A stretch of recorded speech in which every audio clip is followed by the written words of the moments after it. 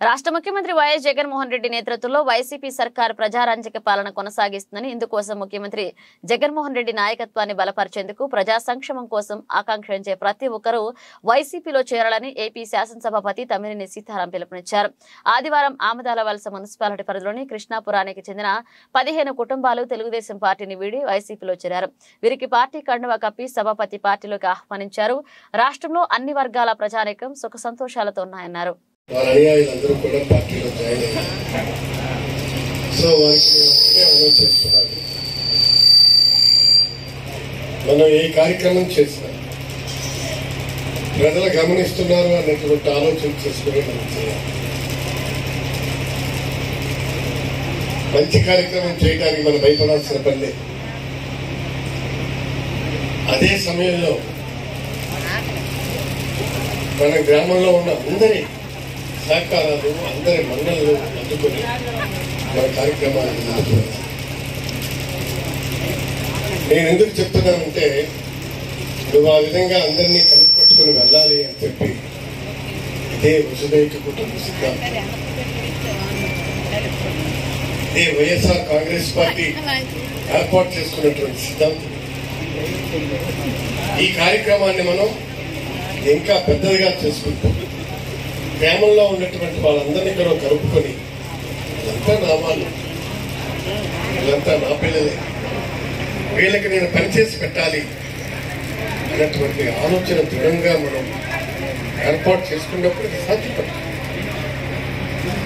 కాబట్టి దయచేసి మన వాళ్ళందరూ ఇక్కడ ఆలోచన చేయాల్సినటువంటిది ఏంటంటే ఇది ఏ ఒక్కరితో కాదు ఇప్పటి మనందరిది కూడా. ఈ పార్టీని ప్రతి ఒక్కరూ ముందుకు నడిపిస్తేనే నడుస్తుంది. అందుకే నేను నీకు ఈ- ఈ ప్రధానమైనటువంటి సలహా నేను ఇస్తున్నాను ఈ పార్టీలో కూర్చున్నటువంటి ప్రతి ఒక్కరికి కూడా వాళ్ళకి ఉన్నతమైనటువంటి భావాలు కలిగినటువంటి వ్యక్తులుగా ఉండి వాళ్ళు ముందుకు వెళ్ళాలని చెప్పి మనస్ఫూర్తిగా కోరుకుంటున్నాను. అయితే ఈ సందర్భంగా కొన్ని విషయాలు చెప్పాలి. మేము చాలా చాలా కార్యక్రమాలు చేశాం. చేసిందే చెప్పుకుంటే రేపు వస్తాను. రేపు ఎన్నికల్లో మనం ఏం చేశామని చెప్పుకునే వస్తాం. వాళ్ళు ఈ గ్రామానికి ఏం చేశారో చెప్పాలి.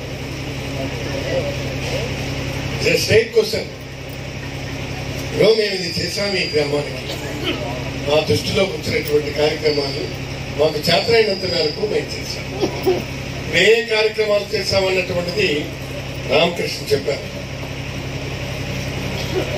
నేను మీకు విశదీకరించేది ఏమిటంటే ఈ కార్యక్రమాల వల్ల ఆ గ్రామానికి మంచి జరగాలి. మంచి జరిగితేనే వాళ్ళు మంచి చేశారు రా అంటారు. అందుకే ఇప్పుడు ఆ స్కూల్ చేశాం మనం. నాడు నేడు సీతారాం గారు చేశాం కాంపౌండ్ వాళ్ళు కట్టాం